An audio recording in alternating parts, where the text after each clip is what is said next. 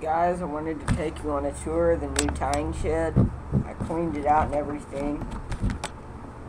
That's the new rod racks up there.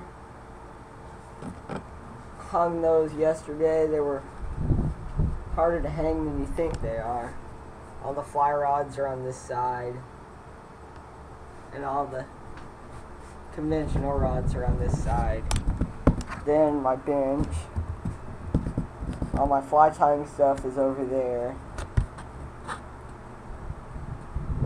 And then all my powder paints are right next to it. My vise. Have two fans going because it's so hot in here. It's like 90. Then that was my old tying bench. And down below it, those drawers are for holding materials. Then right here, this is where I keep all my rod cases for when I travel. And then that's the new bench. Had to build that yesterday. From the ground, it looks like it's not level, but it's actually perfectly level. Not sure why. Thanks for checking this out. See ya.